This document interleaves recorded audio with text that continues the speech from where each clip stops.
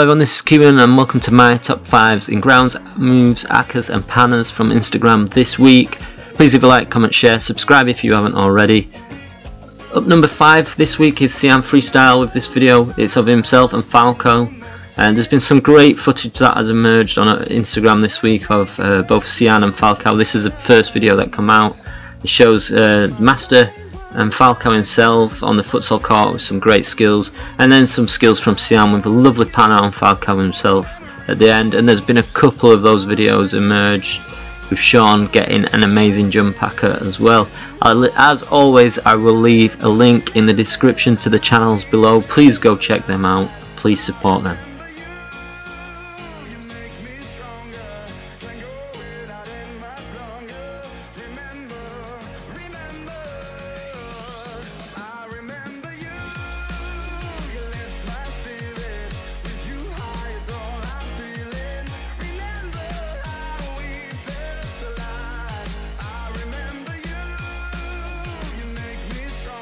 Number 4.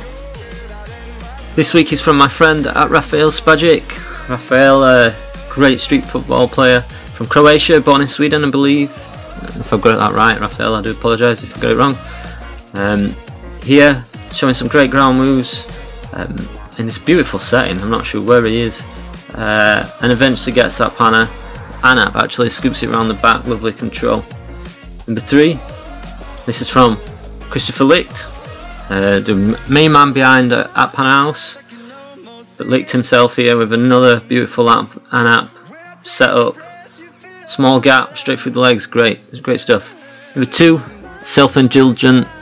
Uh, I shared this again this week, and this is myself getting some pannas here, and then there's five pannas in this video uh, from myself, two from myself, one from Stojan, and two from his brother Milenko as we just absolutely just wrecked this kid.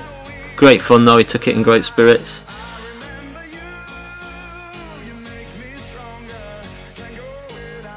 Number one is a hitman.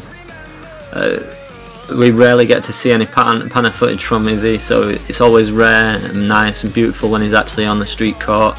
You see a lot of futsal stuff, but this is just amazing. Lovely little setup. Simple, effective panna, gets the uh, panna ball to his teammate Ed.